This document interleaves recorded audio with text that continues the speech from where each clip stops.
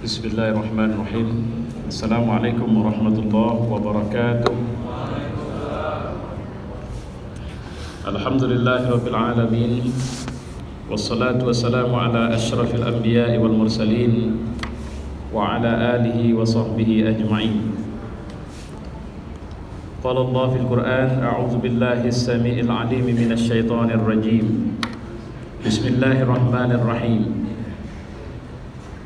لقد كان لكم في رسول الله أسوة حسنة لمن كان يرجو الله واليوم الآخر وذكر الله كثيرا صدق الله وصدق رسوله وبعد Pertama hormat saya saya sampaikan kepada para pimpinan yang hadir Saya mohon maaf tidak familiar dengan sebutannya Tadi sepertinya kalau yang saya dengar Pak Direksi SDM ya Pak ya Oh iya dulu namanya Pak ya Jadi mohon maaf karena belum familiar saya Dan seluruh kepala bagian yang hadir Dan bapak-bapak, ibu-ibu, saudara-saudara saya mengucap terima kasih karena sebab diminta kembali untuk memberi tausiah pada kesempatan sore hari ini. Seingat saya yang terakhir sekali dan uh, saya memberi tausiah dalam peringatan juga. Kalau tidak silap itu Isra Mi'raj waktu itu. Alhamdulillah kita bertemu dan kali ini saya sebenarnya tertarik untuk ikut serta membahas topik ini yang menjadi tema bagi acara Isra Mi'raj kita tagline jujur tulus ikhlas. Terus terang sebenarnya Islam sebagai sebuah ajaran itu tidak ada masalah. Artinya gagasan-gagasan Islam adalah gagasan-gagasan universal yang up to date link to everything dia bisa ikut atau bisa nyambung ke semuanya apa pun peran kita apa pun kondisi kita, pekerjaan kita. Dengan catatan bahwa Islam adalah tidak sekedar sebuah gagasan kecil tapi gagasan besar. Dia prinsip, dia nilai. Yang seharusnya itulah yang menginspirasi semua karakter-karakter dalam diri kita. Karena Allah ketika kita sudah menerima Islam tidak mempersiapkan kita cuma jadi orang baik saja. Itu harus kita pahamin itu. Allah tidak butuh kita cuma berhenti jadi orang baik full stop, tidak mau. Allah sudah sudah sudah berikan kepada kita begitu banyak contoh dalam catatan sejarah sekian banyak manusia dengan sekian banyak masalah dan sekian banyak solusi yang Allah berikan tapi Allah tidak mau umat Islam ini mengulang kesalahan yang sama yang dimiliki atau dilakukan oleh generasi sebelumnya Itulah kenapa gagasan Islam ini Allah menyudahi cerita Nabi. Tidak ada lagi Nabi setelah ini. Ketika tidak ada lagi Nabi setelah ini, maka kita yang diminta kreatif untuk melakukan tune in. Kita yang diminta untuk proaktif melakukan upaya untuk menyerap nilai-nilai penting dari kitab yang luar biasa yaitu Al-Qur'anul Karim. Kalau dulu Ketika ada satu ajaran disampaikan oleh seorang nabi dan itu gagal dalam tanda petik, maka umatnya dihancurkan. Ibarat sebuah eksperimen. Jadi ada eksperimen demi eksperimen, eksperimen demi eksperimen, maka sampai pada titik terakhir dengan gagasan Islam yang diturunkan kepada Nabi Muhammad, Allah sudahi cerita Nabi. Khatamul Anbiya. Dia adalah khatamnya para nabi. Dan jangan lupa dengan catatan bahwa Muhammad adalah khatamul anbiya itu artinya bahwa lompatan-lompatan kita di waktu atau kurun mana pun itu tetap bisa bersinergi dengan nilai besar yang diwariskan oleh Nabi Muhammad SAW berupa Al-Quran di tengah-tengah kita dan itu bukan milik Nabi Muhammad SAW saya saya ingin menunjukkan betapa sebenarnya luar biasanya posisi kita di hadapan Allah Subhanahu wa taala. Saya ulang sekali lagi bahwa generasi sebelum kita adalah ketika nilai-nilai yang ingin ditanamkan kepada mereka tidak disambut dengan baik, maka Allah hancurkan mereka. Allah binasakan mereka. Allah kirim nabi lain di kaum yang lain. Tapi Islam ini tidak. Saya ulang sekali lagi, ini supaya kita bisa lebih paham. Allah menyudahi cerita Nabi dan Rasul. Tapi Allah sertai umat ini ke belakang dengan satu kitab yang gagasan-gagasannya itu bersifat universal. Yang sasarannya itu adalah manusia. Jadi sasarannya bukan orang Arab. Maka merupakan sebuah kebodohan, manipulasi ketika ada orang mengatakan kita tidak perlu menjadi muslim yang baik karena sebab kita ditoko-tokoin orang Arab. Karena itu ada itu. Tidak mau puasa, ngapain kita puasa? Tidak usah kita berjilbab, karena itu pakaian orang Arab. Nah, yang perlu diingatkan bahwa setelah kita menjadi muslim bahwa walaupun nabi tidak bersama kita tapi Allah menyertakan bersama kita Al-Qur'an dan kita diminta untuk proaktif bersahabat dengan Al-Quran. Ini yang mohon maaf, ini ide-ide dasarnya dulu ini. Terus apa status kita dalam Islam? Only the followers? Hanya sekedar para pengikut? Sehingga setiap ada masalah dalam agama kita akan bilang, sorry pak, saya cuma orang awam. Maaf, saya bukan ustadz. Wah, kalau yang begini-begini, ini harusnya kerjaan FPI, Pak, bukan saya. Bolehkah kita mengucapkan kalimat-kalimat yang memproyeksikan diri kita untuk ke, atau kemudian mensucikan diri kita seakan-akan itu bukan tugas kita? Tidak bisa. Kenapa? Nah, di sini kita harus bisa paham bahwa setelah Nabi Muhammad tidak ada, maka status kita adalah duta-duta Allah untuk seharusnya menampilkan nilai besar Islam ini. Jadi apa ciri penting Islam? You are the best. Siapa pun kita, kalianlah yang terbaik itu. Apa pun fungsi kita, you must be the best. Kalian yang terbaik. Apa yang menjadi catatan saya mengatakan you must be the best? Allah bilang wal takum minkum ummah atau kuntum khaira ummah. Kalianlah yang terbaik. Kalau kita bicara khaira ummah, walaupun sebenarnya bahasa terbaik itu enggak sih. Yang benar itu kalianlah umat yang baik itu. Karena kalau bahasanya terbaik masih ada yang baik, masih ada yang kurang baik. Tapi Allah mengatakan kalianlah yang baiknya. Jadi bagaimana cara supaya kita bisa menerima Islam dengan benar dan kita menjadi punya iktizaz? Ini yang nanti akan nyambung dengan Masya Allah Ini saya senang sekali dengan tagline kita Karena saya sering mengatakan ikhlas itu kekuatan. Dia bukan sekedar niatmu Tapi daya tahanmu. Ikhlas itu semacam mesin yang bisa menggerakkan bahkan seorang pengecut sekalipun. Ketika setelah Nabi Muhammad wafat khalifah itu kan Abu Bakar. Kabarnya dua per tiga. Ada yang bilang sepertiga rakyat muslim menurut Abu Bakar murtad Karena saya bilang menurut Abu Bakar karena dia mengatakan orang kalau tidak mau bayar zakat lagi itu sudah murtad itu. Karena Abu Bakar mengatakan, aku tidak bisa menyatakan bahwa seorang itu masih muslim walau dia sholat tapi sudah tegas-tegas tidak mau bayar zakat.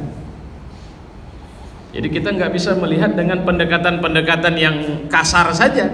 Saat itu pendapat Abu Bakar tidak diterima oleh mayoritas para sahabat. Termasuk Umar bin Khattab waktu itu yang kabarnya dia punya kemampuan berpikir yang kelasnya seperempat puluh para nabi. Jadi nggak perlu diangkat jadi nabi. Kelas Abu Bakar Umar itu kalau berpikir kadang-kadang dia bisa berpikir melampaui wahyu. Tapi hari itu dia tidak sependapat dengan Abu Bakar Atas dia bilang kepada Abu Bakar, bagaimana ini pendapat?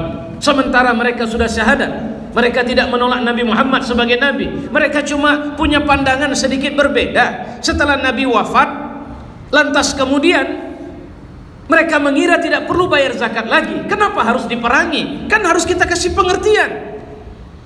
Abu Bakar itu orangnya tinggi, kurus, keningnya cekung.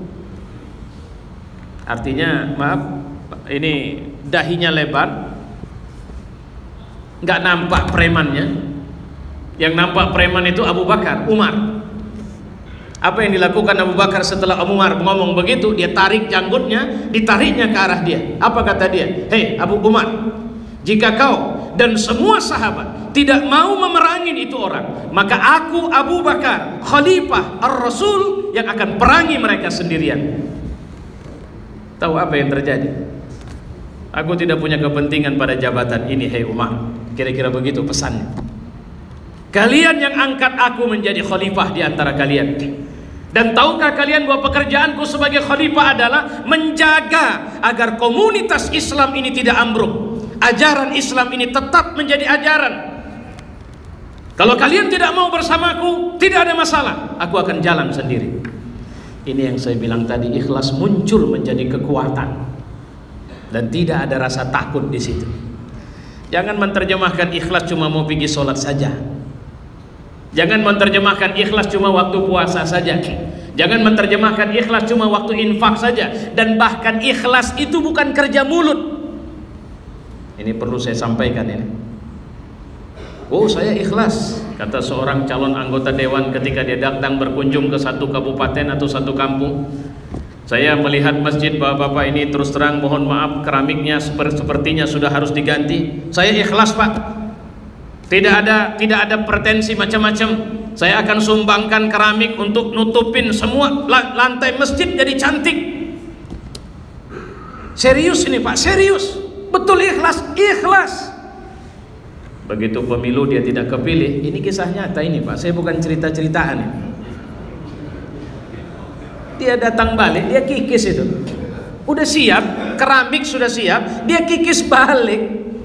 Saya mau bilang, ikhlas itu bukan keras atau kecilnya bicara. Ikhlas itu akan kelihatan dari konsistensinya kerja. Ikhlas itu ada stimulasi dalam bentuk materi atau tidak karena orientasinya itu nanti kita kaji. Kalau nggak sempat hari ini lain kali insya Allah. Saya usahakan nggak sempat hari ini supaya ada undangan lain kali insya Allah. Kita balik dulu kepada cerita Islam tadi. Karena terus terang begini, bahwa sebenarnya sekarang ini banyak orang-orang Islam yang gagal memahami posisi dan fungsinya di antara umat yang lain.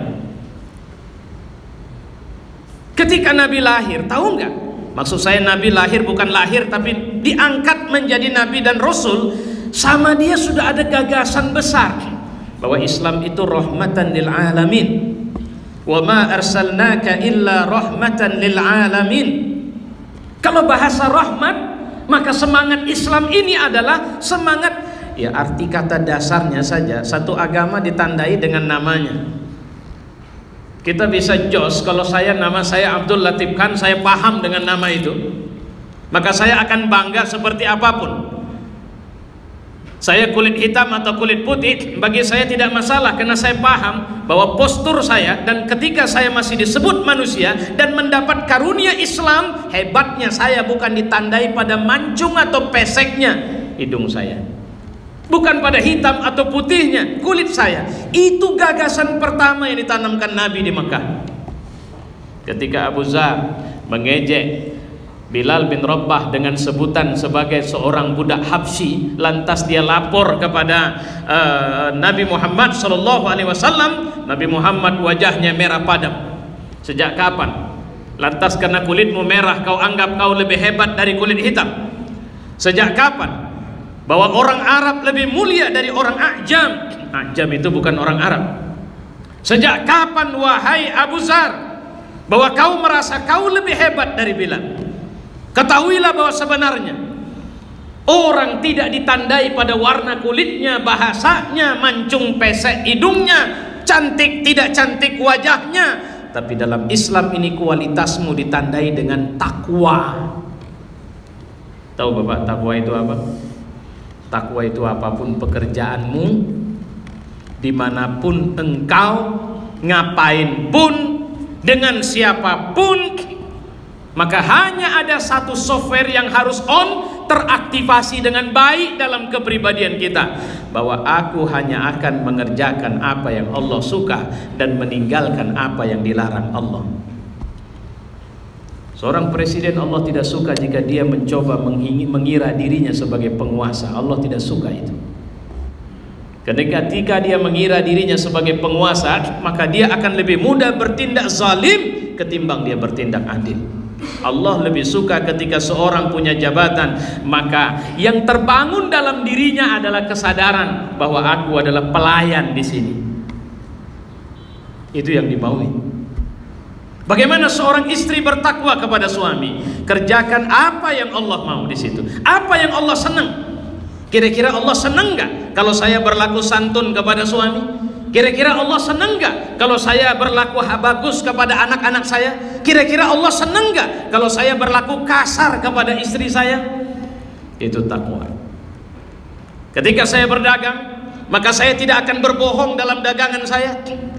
Tadi saya ditanya orang tentang adanya orang mau pergi umroh Bayar 5 juta jadi DP udah bisa berangkat Terus saya bilang sisanya gimana? Sisanya cicil Oke baik cicil Saya mau tanya berapa tiket atau berapa biaya berangkat?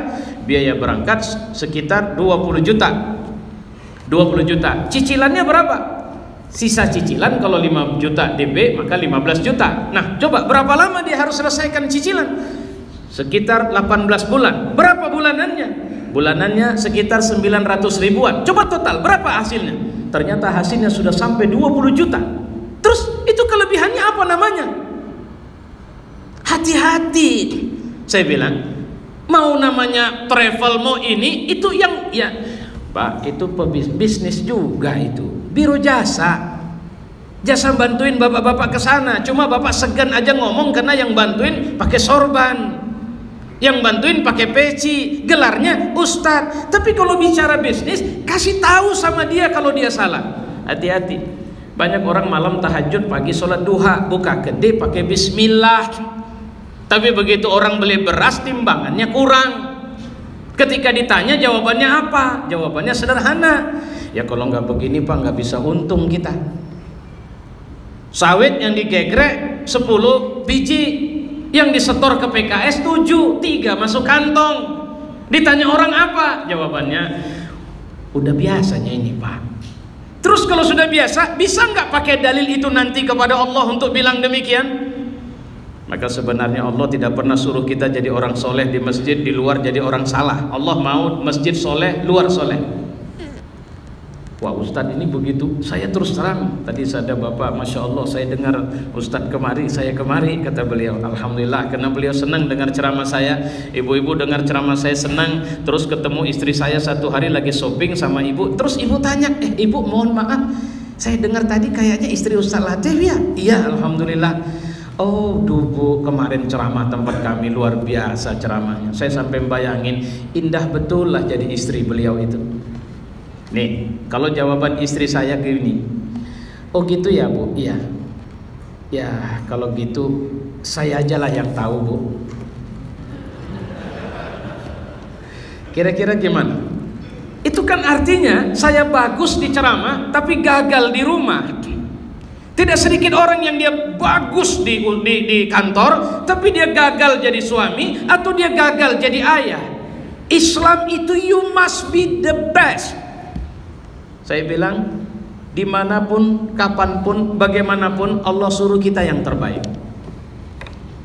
Kenapa? Karena gagasan Quran adalah gagasan yang terbaik. Karena gagasan Quran dia bicara tentang nilai-nilai utama. Ini yang sayangnya interaksi kita sama Quran tidak interaksi orang yang mengambil ide dasar. Kita sering kali interaksi dengan Quran semangatnya adalah ngambil pahala. Habis itu ngusir hantu kebetulan samping rumah ada kuntilanak sering-sering. Lantas kita baca Quran atau kemudian baca Quran untuk amalan supaya katanya saya bisa di apa usaha bisa lancar Pak, saya harus baca surat ini. Padahal Quran ini diturunkan supaya kalian umat Islam menjadi leader in the world. Kita ini pemimpin di muka bumi. Kalau begitu apa yang hilang dari kita? Nih, antara Islam dan menjadi Islami. Itu yang hilang. Sekarang ini kita sudah muslim. Oke lah kita sepakat, kita sudah muslim. Sekarang ini kita muslim. Tapi nilai-nilai yang ada dalam Islam ini blank. Bapak baca surat Qul huwallahu ahad, Bapak ambil nilai apa dari situ? Apa nilai? Apa prinsip? Apa gagasan yang bisa diambil? Kemudian kita instalasi dalam kepribadian kita. Harusnya antara Quran antara kita menjadi muslim, kitalah orang yang paling mampu menerapkan nilai-nilai penting. Apa kira-kira? Jujur, tulus, ikhlas. Itu hanya sebagian kecil dari begitu banyak nilai besar yang Allah hidupkan dalam Quran. Cuma masalahnya kita nggak ngeling. Ini ini udah lama sih, tapi tahun lalu populer ini.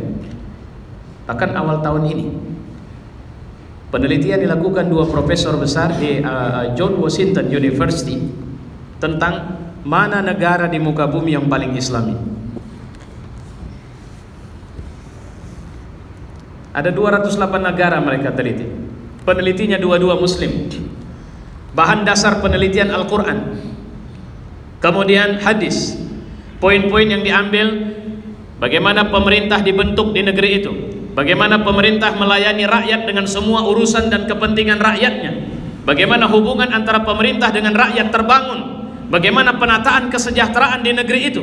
Bagaimana bagaimana kombinasi menjaga keseimbangan antara sumber daya manusia dengan sumber daya alam di negeri itu. Cek punya cek, hasilnya mengejutkan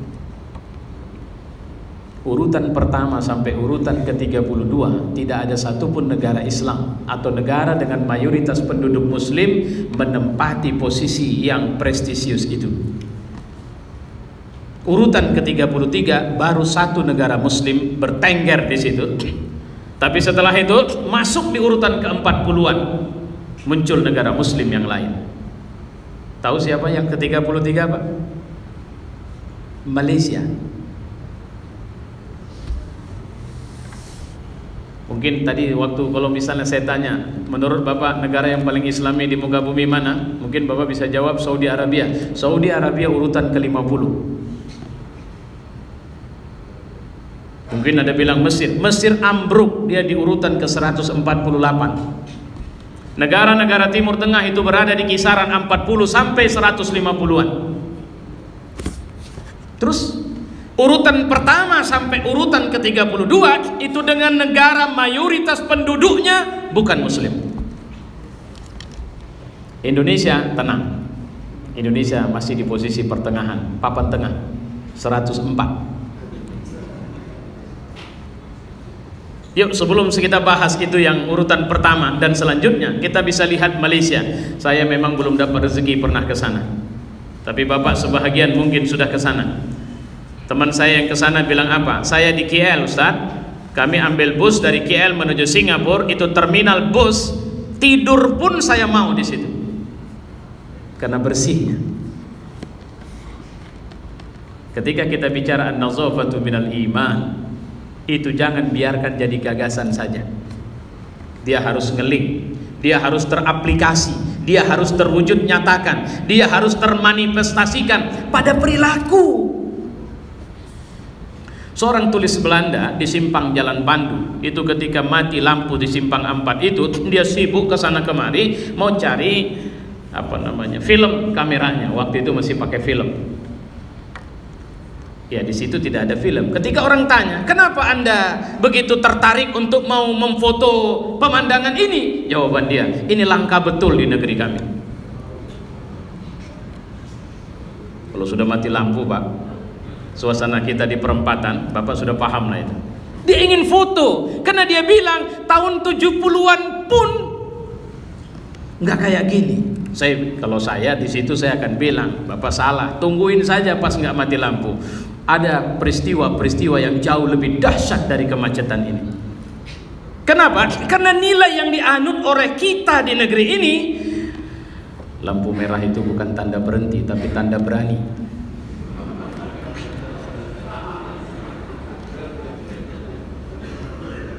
Lampu kuning itu bukan tanda hati-hati, tapi masih ada kesempatan jalan. Sementara lampu hijau jalan, kapan berhentinya? Cuma yang luar biasanya begitupun sangat jarang terjadi tabrakan. Nah, itu nilai yang kita punya. Makanya kalau lulus jadi driver di Medan, bisa jadi driver di negara-negara maju itu. Kenapa? Bahkan di sana pun kita akan merasa sangat menjemukan jadi driver di sana. Kenapa? Kalau antri ya antri, jangan ambil. Dulu kabarnya orang Medan kalau sudah pergi ke Jakarta ketahuan itu. Kalau bawa mobil nyalip sana, nyalip sini. Sekarang orang Jakarta juga sudah belajar dari orang Medan. Sehingga mereka juga sudah salip sana, salip sini. Itu nilai Islamikah nilai ini? Mana negara yang paling islami di muka bumi menurut penelitian itu? Adalah negara dengan penduduk 1,1 persen saja muslimnya. New Zealand, Selandia Baru. Seorang teman bilang sama dia, saya, sama saya, saya pernah ke sana Ustaz. Di sana mobil kalau diparkir pinggir jalan nggak perlu ambil kunci, nggak hilang. Kenapa? Orang sadar hukum. Orang punya rasa malu untuk mengambil yang bukan haknya. Masya Allah. Bukankah ini nilai Islam itu? Kita duit orang jatuh 10 ribu, Alhamdulillah ambil tengok. Pak, pak, pak, duitnya jatuh. Makasih. Tapi kalau duit orang jatuh 100 ribu, kita tenang saja. Nggak ada pak-pak. Kenapa? Karena sudah mah, sudah besar. Artinya apa? Kita masih ambivalen. Kita belum jujur, jangankan sama orang lain, sama diri kita sendiri saja kita tidak pernah jujur. Gak percaya? Pulang dari sini coba duduk sebentar. Jangan tahu orang. Boleh pakai kertas, boleh pakai HP, ambil notesnya. Buat pertanyaan-pertanyaan kepada diri sendiri. Kalau berani jawab jujur, luar biasa. Pertanyaan pertama jika kau mati hari ini menurutmu sendiri bukan menurut orang lain Apakah kau layak masuk surga atau masuk neraka Coba jawab jujur itu nanti pulang. Itu pertanyaan yang kalau kalau kalau sekedar buat pertanyaan nggak sulit, tapi buat jawabannya itu loh. Walau cuma sendiri, mungkin jawabannya kayaknya masih berat. Baik, kalau masih berat, apa sebabnya? Dosaku banyak. Oke baik, apa saja dosa yang pernah kau lakukan yang menurutmu pasti membuatmu masuk neraka? Ayo, ayo, ayo. Terakhir ditulis satu, dua, tiga, lima, lima. Terakhir satu lembar kertas tidak cukup. Dua lembar, isi 32 nggak cukup. Isi 50 tidak cukup. Isi 100 nggak cukup. Terakhir, kayaknya berat kali awal ini masuk. Tapi saya saya curiga kita tidak berani mengurai satu demi satu masalah itu. Tadi kan kita bicara, oke, okay, tagline kita Masya Allah. Tapi sekarang, beranikah kita jujur kepada diri kita sendiri? Apakah? Karena terus terang Pak, untuk tahu kita ini orang jujur sama atau tidak, beranilah bertanya. Kalau bahasa agama, muhasabah. Apakah aku bekerja di sini semangatku sudah ikhlas? Bapak yang tahu itu, bukan saya. Apakah aku telah bekerja sebagai pekerja sehingga nanti Allah akan memasukkanku ke surga karena bekerja di sini? Apakah aku sudah jujur? Apakah aku sudah memberikan sesuatu yang terbaik? Apa karena orang yang tagline itu tadi, jujur, tulus, ikhlas, itu adalah orang yang kontributif dan itu adalah performa muslim. Nabi sampai bilang, kalau kau tidak punya sesuatu apa pun, senyumlah. Karena senyum itu pun sedekah. Artinya, muslim itu semangatnya memberi bukan minta. Lihatlah bagaimana ketika dia mengawali solat dia mengucapkan Allahu Akbar. Ketika mengakhiri solat dia mulai memberi. Apa yang sebenarnya seakan-akan Allah bilang mulailah dengan jargon Assalamualaikum. Bilang sama dunia bahwa kehadiran kami bukanlah sebagai sebab kekerasan terjadi. Bilang sama dunia bahwa semakin banyaknya kami, maka akan banyak kebajikan yang akan muncul di sini. Bilang sama dunia, saya bilang-bilang sama dunia sehingga nanti ketika kita ketemu dengan kebun kita, apakah itu sawit atau yang lain, kita tinggal bilang, Anda dan kami, kita sama-sama hamba Allah, saudara. Hei sawit, kami tidak datang dengan semangat mengeksploitasi kalian, karena kami sadar bahwa sebenarnya kalian juga hamba Allah yang sedang mengabdi kepadanya. Mari kita satukan kekuatan pengabdian ini. Kami mengabdi kepada Allah dan kalian mengabdi kepada Allah Mari kita bekerja. Ambil peranmu, aku akan ambil peranku. Apa yang sebenarnya peran kita terhadap sawit-sawit itu? Sakharalakum Sawit itu sudah ditundukkan sama kita oleh Allah. Artinya dia akan siap membelikan produk yang unggul untuk kita. Saya sering mengatakan bahwa tanaman kita itu 80% kerja Tuhan itu. Kita cuma mengambil porsi kecil dari situ. Dia butuh air, air milik Allah. Dia butuh tanah yang bagus, tanah itu milik Allah. Bahkan ketika kita sudah menanamnya, kita hanya bisa memberi pupuk yang membesarkannya Allah. Kemudian muncul bijinya, kadang biji besar tapi minyaknya kecil, sedikit. Kadang biji kecil tapi minyaknya bisa besar. Semua itu tidak bisa kita putuskan hubungan kita dengan Allah Subhanahu wa taala. Maka bekerjalah bersama sawit itu dan katakan you are the team. Anda itu bukan pohon yang tidak punya nafs, tapi Anda dan saya adalah tim yang oleh Allah disuruh bekerja untuk menghasilkan kerja-kerja terbaik kita. Kalau saya bilang, jadikan sawit itu sahabatmu. Karena kalau kita pendekatannya kepada bahwa itu adalah lahan kerja, maka pendekatannya eksploitatif, orientasinya lebih kepada keuntungan. Bicara padahal Allah tidak bicara untung, tapi bicara berkah. Dalam berkah itu pasti ada untungnya. Kalau bicaranya untung, itu pendekatannya materialistik, rasionalistik. Sehingga ukuran-ukurannya adalah kenapa kita gagal produk tahun ini? Padahal produk bisa bagus tapi pasar tidak bagus.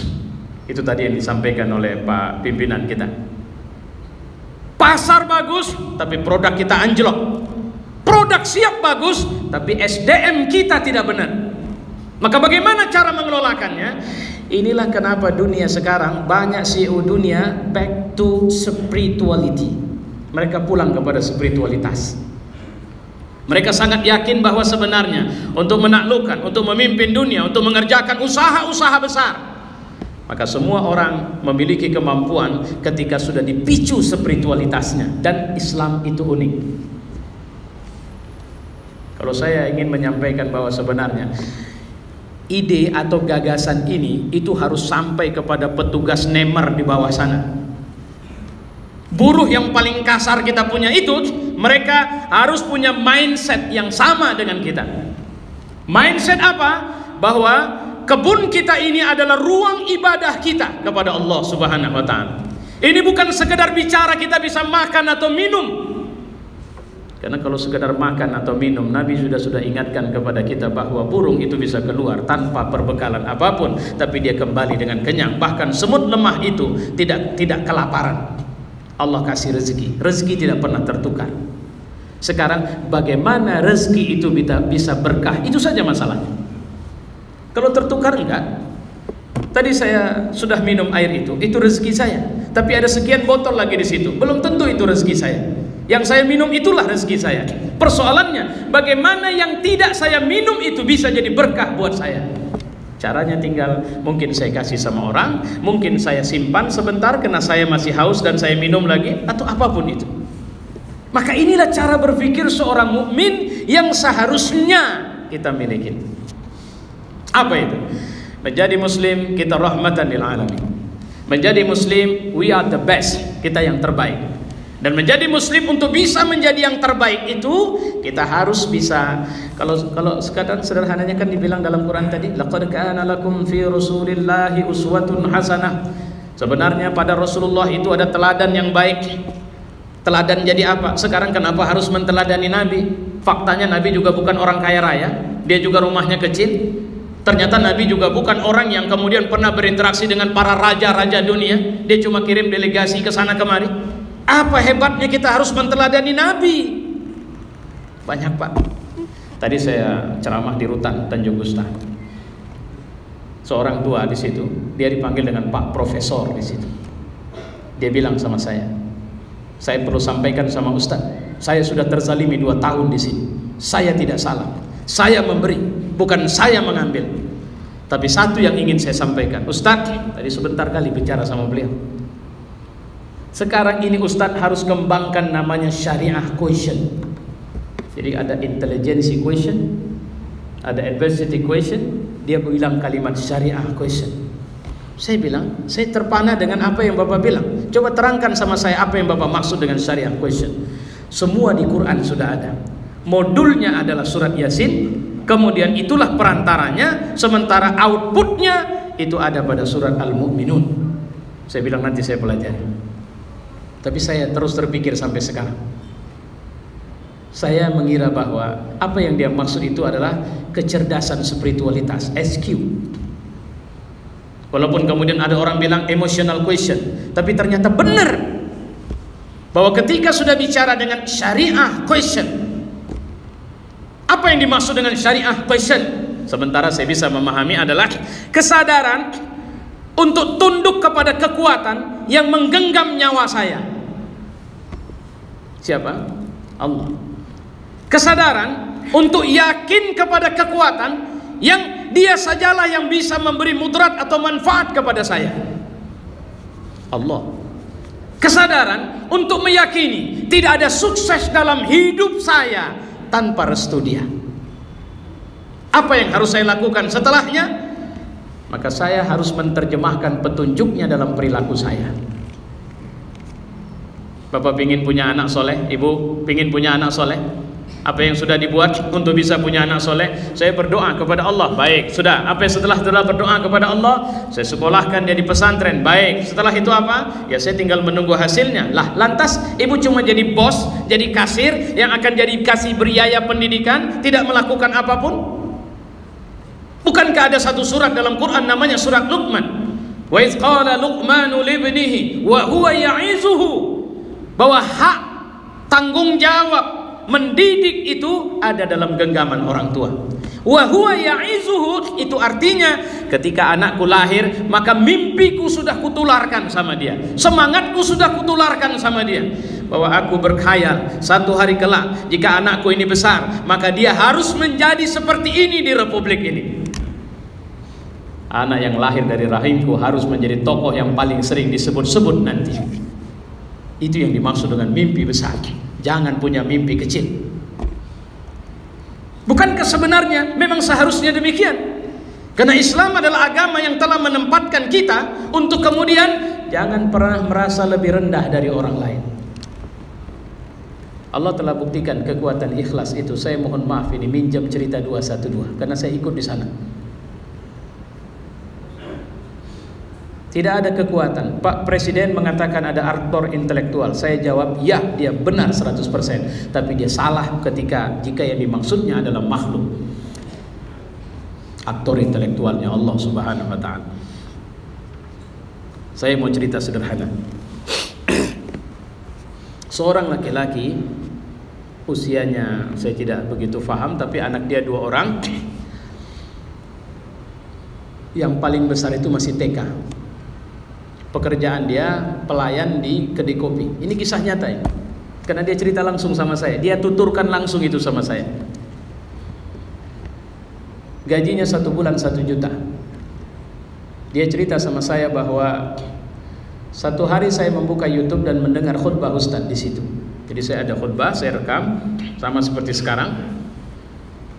Atas kemudian itu membuat hati saya membara dalam dua minggu saya berdoa setiap tahajud dan setiap waktu duha. Saya cuma minta satu permintaan kepada Allah. Ya Rob, jadikan saya sebagai satu bahagian dari orang yang ikut dalam gerakan 212 itu nanti. Sampai hari Kamis belum ada tanda-tanda. Besok Jumat. Pemilik bertanya kepadanya. Tidak ada keinginan untuk berangkat. Apa dia bilang? Kalau ada orang yang memberi tiket kepada aku, aku berangkat. Kalau aku kasih tiket kau berangkat tapi tidak tiket pulang, kau mau berangkat? Mau. Maka singkat cerita dia berangkat. Tahu dia belum pernah naik pesawat, dia belum pernah ke Jakarta dan dia berangkat tanpa ada orang yang punya tujuan yang sama dari kampungnya di Kuala Simpang. Subhanallah. Dia sampai di Istiqlal. Dia berdoa kepada Allah. Ya Rob, aku sudah di sini malam ini dan insya Allah besok aku jadi bahagian dari sejarah di Republik ini. Tapi aku belum punya tiket pulang. Dia berangkat tanpa uang saku. Akhirnya Allah mengutus ustadz yang kebetulan satu kampung sama dia, tapi nggak ada janjian, ketemu di sana dan ditanya, bagaimana tiket pulang? Belum ada ustadz. Jadi kalau nggak ada, ya nggak bisa pulang saya. Apa yang dilakukan? Ustadz itu membelikan tiket Garuda dan dia pulang dengan Garuda. Saya mau bilang, siapa yang mendesak dia untuk berangkat ke sana? Siapa yang membiayai dia untuk berangkat ke sana? Siapa yang membuat hatinya untuk akhirnya berangkat ke sana? Tidak ada kekuatan kecuali Allah.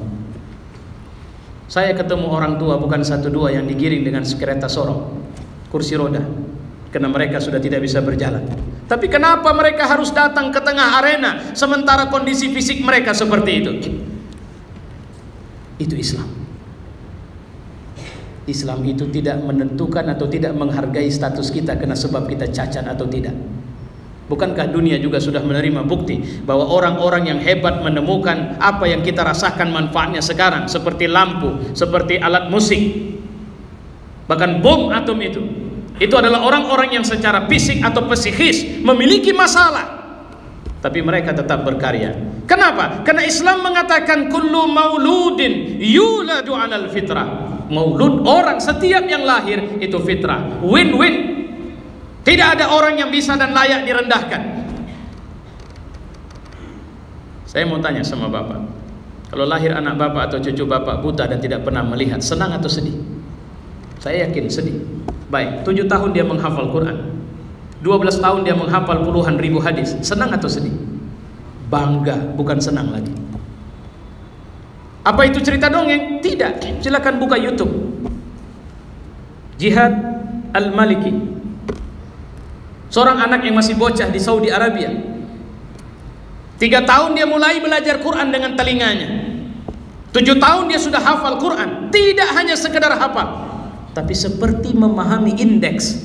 Kalau disebutkan ayat, dia bisa sebutkan rangkaian ayat yang lain. Bahkan ketika dia menghafal hadis, dia bisa sebutkan hadis itu di kitab mana, bab berapa, korelasinya pada kitab lain, bab berapa, di halaman berapa. Dia tidak pernah melihat Jangan pernah curiga pada keterbatasan fisik. Di Indonesia saya lupa nama anaknya, 7 tahun juga hafal Quran, tapi kemampuan otaknya tinggal 10%. Saya lupa itu. Dia mengalami kelumpuhan katanya otak, itu pernah ditampilkan di acara televisi. 90% otaknya tidak bekerja tapi dia hafal Quran pada 10 persennya. Kenapa? Karena dunia mengatakan orang paling pintar sekalipun hanya bisa memanfaatkan 5 sampai 10 persen otaknya kemampuannya. Kalau bapak bekerja dihadapkan dengan kesulitan, apa yang akan terjadi? Stres, panik, salah, paham, salah. Allah sudah mengatakan inna ma'al usri yusra kalau kalian menemukan kesulitan, di situ juga Allah hadirkan jalan keluarnya. Tapi persoalannya itu dia saya bilang, kalau itu sawit adalah makhluk, kita juga makhluk, maka bangunlah rangkaian sinergi dengan sawit itu dan tune inkan kepada Allah. Jangan pernah putus hubunganmu dengan Rob. Maka mulai hari ini kalau Bapak datang ke kebun, ada muslim yang bekerja dan itu sudah masuk waktu sholat, bilang sama dia, tinggalkan, angkat saja karena sawit ini punya Allah, kau punya Allah, tanah ini punya Allah, dan kau meninggalkan pekerjaanmu karena Allah, maka Allah akan menutupi apa yang kira-kira menurutmu mungkin tidak bisa tertutupi. Begitu cara berpikir. Pepeng sudah almarhum, padahal dia tidak bisa ngapa-ngapain. Tapi adakah kesan bahwa dia menderita dengan penyakitnya? Tidak. Apa yang membuat dia tidak menderita? Dia terus memberi. Dia terus memberi.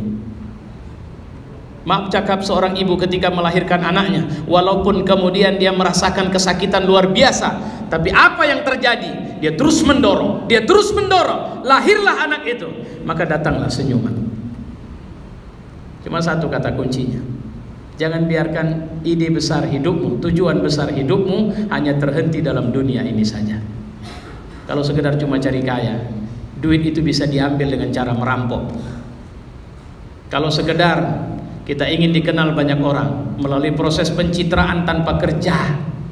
Kita bisa dikenal banyak orang. Tapi kalau kita mau masuk dalam surga Allah, kita mau disayang Allah, maka tidak ada cara lain.